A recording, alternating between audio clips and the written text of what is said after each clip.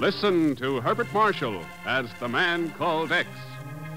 Wherever there is mystery, adventure, intrigue, in all the strange and dangerous places of the world, there you will find the man called X.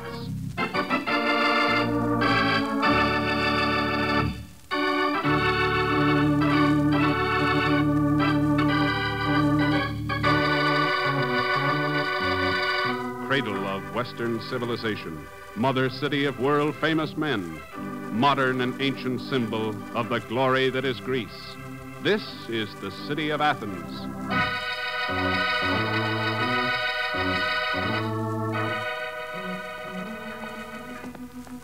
Eh, you're sure everything's all set, Grisha? There's no chance for a slip out, eh? Believe me, my darling cousin Pagan, you got absolutely nothing to worry about. I swear it by the father of my father of my father. Huh? I knew it. I knew it. You're lying to me. Give me back my money and, and let me out of this thing. Pagan, you wound me deeply. I have allowed you to buy a half interest in a genuine Byzantine Bible. Oh, sure, for 50 bucks. When I could pick up all the Bibles I wanted for nothing. In any hotel room. Of course, my darling cousin. But would they be worth $50,000? Hmm? And all you got to do is take it in that bookstore and give it to a man by the name of Santos. He'll give you the Mazuma and we'll split it right down the middle, 60-40. Well, uh, well, okay, I'll take it, but, uh, but believe me, Grisha, if I find out that you double-crossed me in any way... Pagan, I... how can you say such a thing? After all, we are both Zellschmidts. That's just what I mean. Oh, well. oh.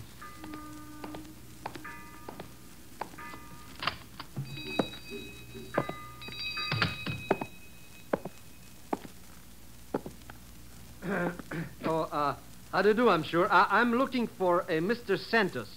Would you be, by any chance, be him at... Um, like, like I was saying, I, I got here a, be- a beautiful deluxe edition of a Bible that's worth maybe $50,000. Hey, why, why, why do you sit there looking, looking at me like that, huh? Why do you... Oh, oh you... You're dead. You're, you're dead. You... Let me out of here. Let me... Help!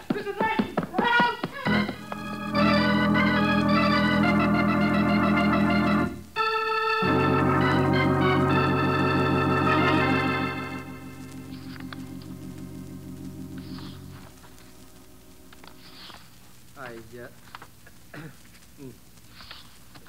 That's all I know, Mr. X. I walk in, this Santos joker is dead. And I'm left holding the bag. What happened to Grisha? But that double crossing no good was gone. Haven't seen hide of him since. Hmm. So, what do you think, Mr. X? Is that Bible worth 50 grand, like Grisha said? No. I knew it. I knew it. No, I'd say it was worth about 10 million. Oh, sure. That's what I thought. It's only worth a lousy 10 million. 10?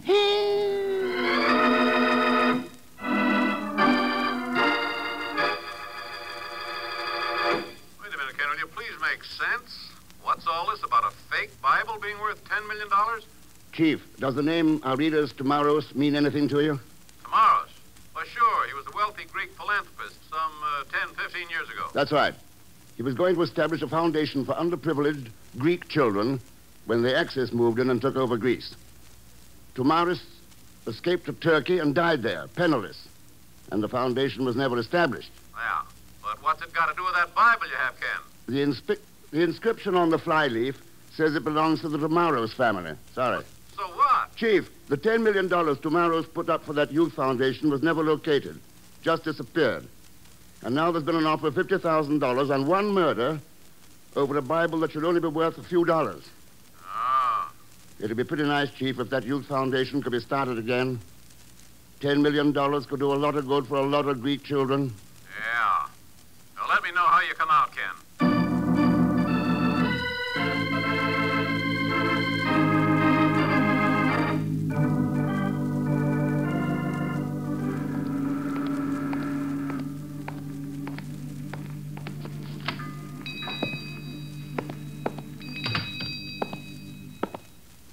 Good afternoon, sir.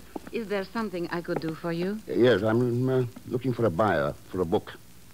I thought someone here might be interested. Oh, I'm sorry. We are going out of business and are not interested in buying any additional stock. Not even a Byzantine Bible? You have such a Bible? Well, if I did, would it be worth anything? Far more money than a bookshop like this could ever possibly afford. Strange. I understood a man by the name of Santos was willing to pay $50,000 for such a Bible if it was delivered to him here.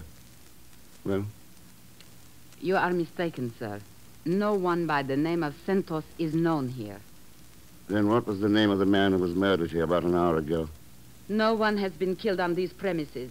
A call to the police should convince you of that. Oh, I've already called them. They've had no report of any murder here. But you are not convinced. No. Why not?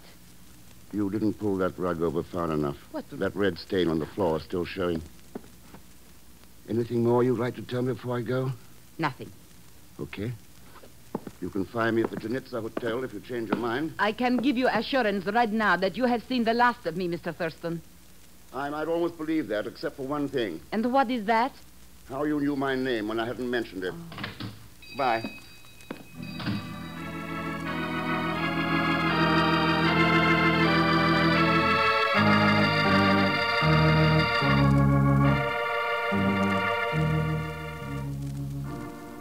Believe me, Mr. X, I've talked to practically every crook in.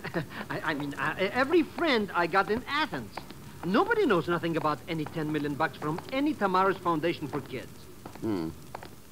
What about that dead man, uh, Santos?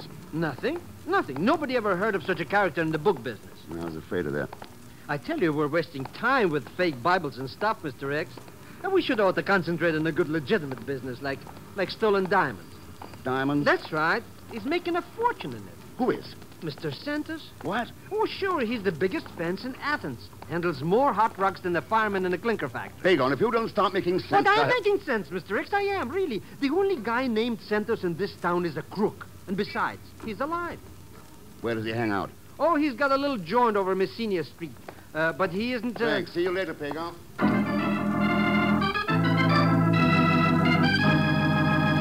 So you wish to sell me a Byzantine Bible, Mr. Thurston? I understand you're in the market for one, Santos.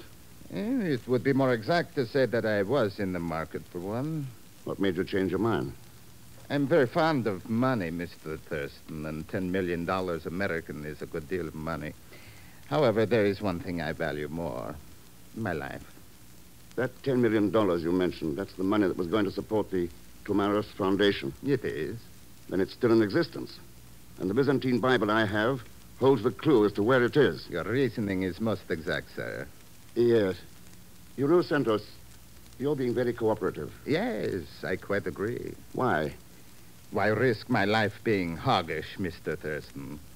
Even half of $10 million is a considerable sum of money. That's the cut you want for disclosing the secret of this Bible I have? It is, sir. Giving you five million would rob a lot of Greek children out of a new way of life, Santos. Perhaps. But it will also bring a new way of life to me, Mr. Thurston. Yes, Well, no deal. as you wish. I'm certain I can find someone else who will enter into such an agreement with me. Uh, that'll be pretty tough. One of you would have to get the Bible away from me first. Yes, that is quite correct, Mr. Thurston. One of us would.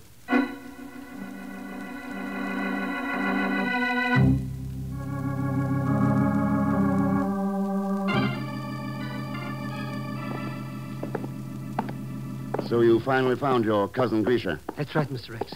He's waiting for us up here in the hotel room. Did he tell you where he got the Bible? He wouldn't tell me nothing. But now we'll learn that what it is all about when we can... Ooh, That is far enough, gentlemen. She's got a gun. She's got a gun. Well, You are not surprised to find me here, Mr. Thurston? why should I be? I told you we'd meet again. Grisha, what happened to Grisha? That rather obnoxious little man I found here when I came in, he's gone. I was afraid he would interfere with my search. For my Byzantine Bible. No, Mr. Thurston. For my father, Arides Tomaros, and the $10 million that he stole from me.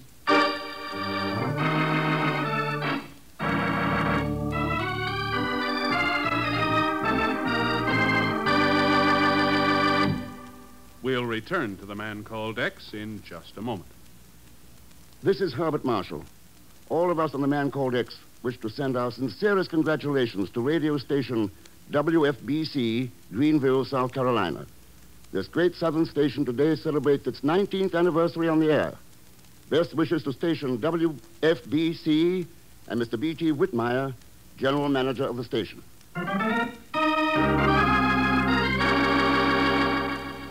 And now, Act Two of The Man Called X, starring Herbert Marshall, with Leon Belasco as Pagan Zellschmidt. A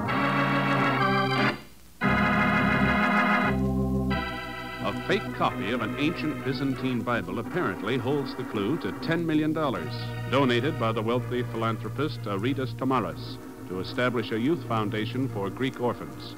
And Ken Thurston is in Athens attempting to locate the missing funds in order to reestablish the foundation. And now, in his hotel room, he and Pagan are faced by a strange young girl who holds them at gunpoint. No, Mr. Thurston. I am not after your Bible. I am looking for my father, Aridas Tomaros, and the $10 million that he stole from me. So you're Aridas' daughter. Yes, Zerta Tomaros. As though you did not know. As a matter of fact, I didn't. And I didn't know your father was still alive. Or that he'd stolen $10 million from. Let's have that gun. Oh, you... Thanks. Stop that. What? Thank you, Mr. Thurston. Now, suppose you'll tell us what this is all about, Mr. Maros. And what do you mean by looking for your father when he died penniless in Turkey a number of years ago. That is not true. He left my mother and me here to starve under the occupation, while he lived on the fat of the land in Turkey, with the $10 million he had stolen from us, from the foundation. Who told you all this? Santos? Yes, he had been associated with my father before the war. And the man who called this morning verified it. What man? Well, he didn't give his name. He only said that my father was here in town and that he had our family Bible with him and that I could have it to remember him by if I was willing to pay 50,000 American dollars for it. Yeah. Where did I come in? How did you know about me? Well, when I refused his offer, that man told me I could reach him at this hotel, in your room, in the event I changed my mind. Hmm. Ah, what a pack of lies, eh, Mr. Thurston? Let's take her down to the poke and lock her up for assault with a battery. No, no, no, Pig. I have a hunch Zerta's story is true. But how can it be? You know this Aridus Tomaros is dead. Yeah, but somebody could be playing a pretty cruel trick on her in order to cash in on that Bible. Let's take a good look at it and find out for ourselves.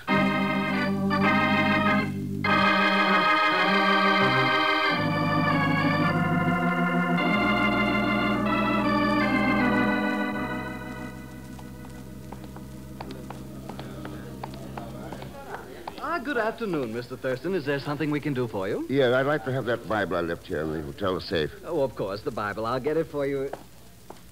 Did you say the Bible, Mr. Thurston? Yeah, that's right. But I've already returned it to you. Returned it. But of course, not half an hour ago. You didn't give it to me. Not personally, no, but your friend brought your note. Um, here it is with your signature on it. You, you can see for yourself that it is your signature. That's a perfect forgery, all right. Forgery? You, you, you can't be serious. Did this friend of mine give you his name? Oh, yes, yes, I believe he did. I, I, I can't remember exactly, but uh, yes, yes, yes. Now I remember. What, what, what was it? Uh, Tomaros. Your friend's name was Aridus Tomaros.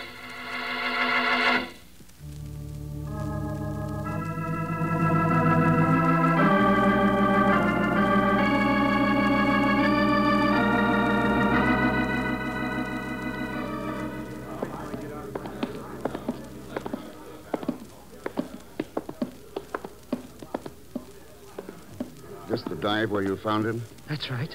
Boy, what a bunch of throat cutters hanging around, eh, Mr. X? Yeah. Ah, my dear friend, Mr. Thurston. Isn't it rather unusual to find a gentleman like you in such a squalid atmosphere?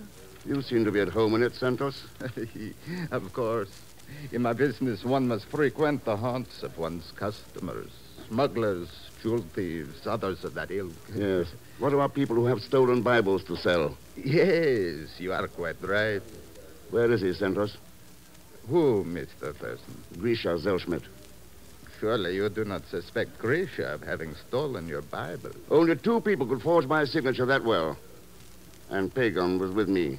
In the face of such insuperable logic, any denial would be useless. When last I saw him, he was in that back room. However, Mr. Zellschmidt no longer possesses the Bible. Oh? Who did he sell it to? Uh, poor Grisha could not inform me. He appeared to be rather dead.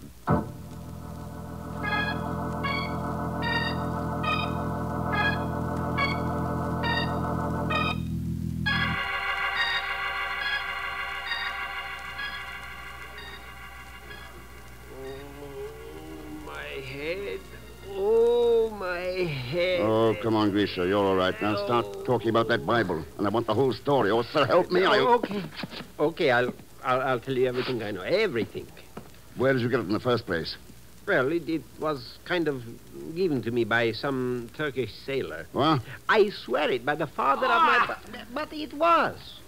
He owed me a couple bucks or two from a crap. ga- from a business deal, you understand, and gave me the Bible in part payment.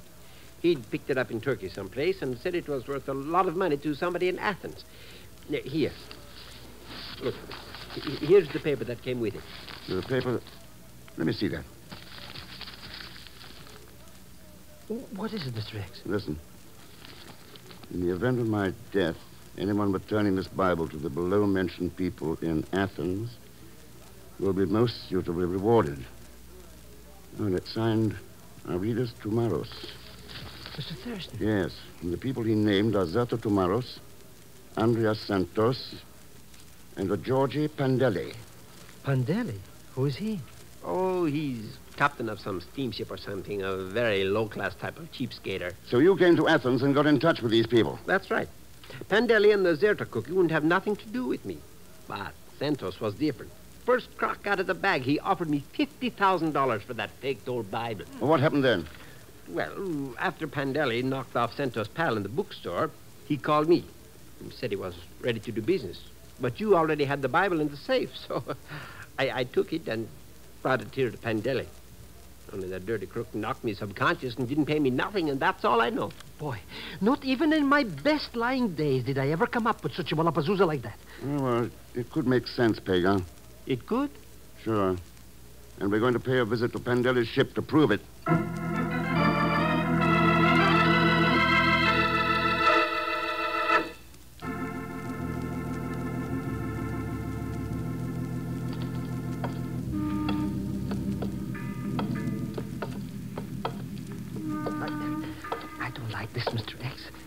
Sneaking on board of a tramped-up steamer in the middle of the night like this. We didn't sneak aboard. We're paying an open visit to Captain Pandeli. Yeah, but Come on. how do you know he wants to see us? Uh, m- maybe he don't like people asking questions about Bibles and stuff. Maybe. oh. Oh, Mr. X. Yes. Pandeli. Can you hear me? Pandeli. Genesis 6 10. What? Genesis 6 through 10. The money. G- Genesis. Si, si,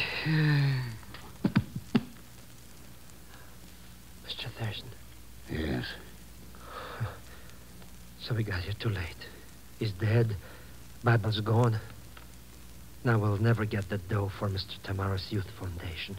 Why give up so easily, Pagan? We've only worked on this about 40 hours. It took Noah 40 days and 40 nights. Oh, that's right, that's right. It, it only took Noah 40 days and... Hmm?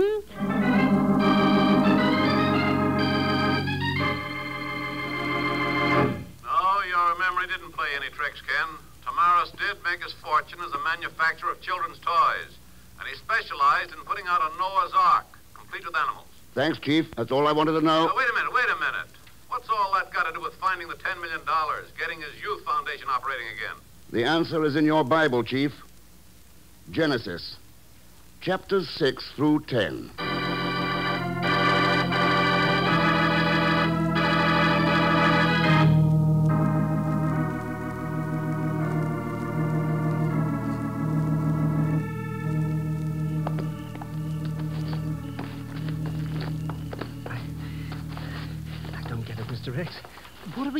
Walking around this old broken down factory for, anyways? It's where Iridus Tomaros used to manufacture his toys. Well, so, so what? The, the place was all bombed out in the war. There's nothing left but old smokestacks sticking up through a, a lot of rubble. Yeah. towering over the rubble like a mountain, like the peak of Mount Ararat rising above the waters after the flood. Hmm? Let's see what's inside the boiler room at the end of that stack.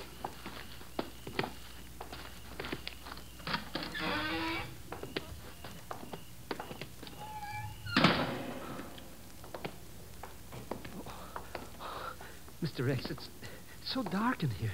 And dark. Uh, what are we looking for any... Mr. X, what... What was that? A loose brick. Fell from somewhere inside that chimney. But how could it do that? Somebody's climbing up there. Climbing? Yep. Have you found it yet, S- Mr. Thurston again. That's right. So you finally figured out where Tomaros hid the funds of the foundation. It was not too difficult once I found Pandeli. Yes. The clues were in Genesis, chapters 6 through 10. The story of Noah and the ark. And Mount Ararat. That is right. But how did you figure it out? I noticed some words in Ionic instead of the old Attic dialect. And if Tomaros had the money with him in Turkey, he wouldn't have needed the Bible and its code. That meant he hadn't taken it out of this country. Then I suppose you know how I came into the picture. And Pandeli. I'd guess Tomaros put those funds into something with permanent value, like uh, diamonds. You could have been his broker. I was. As for Pandeli, well, Tomaros got out of Greece some way. Pandeli's ship could have been the answer. It was. And now, It looks like his youth foundation is going to become a reality, Santos. you will have to get the diamonds first. I'm coming down first. Don't stand in my way. Take it easy, Santos. That stack is old, ready to collapse. The concussion from those shots could start it. This way, Pagan, quick. Stay out of my way, you hear? Stay out of my way before I... Ah! The stack! It is starting to crumble! It is... Ah!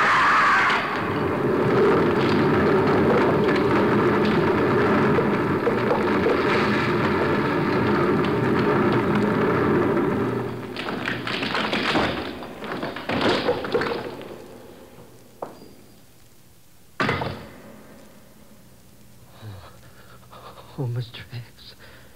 Yes. Buried under all that stuff. And the diamonds with him. Are they? Well, sure, they... they... Mr. X, look. Sticking out of all those bricks and stuff. Yeah. A man's hand. Holding on to a steel string box. Looks like there'll still be a new world for thousands of Greek children rising out of the ruins of the old.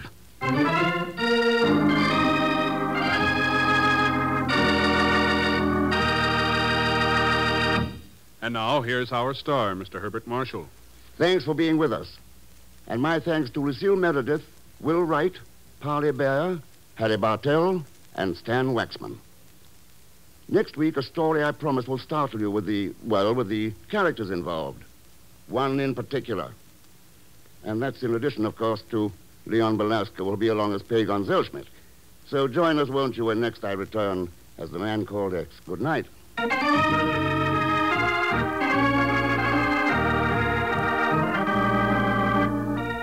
The Man Called X, starring Herbert Marshall, is a J. Richard Kennedy production with music by Milton Charles. This story is written by Sidney Marshall. The program is directed by Jack Johnstone.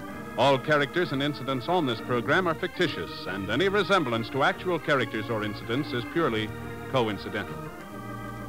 And now, until next week, same time and station, this is Hal Gibney saying good night for The Man Called X.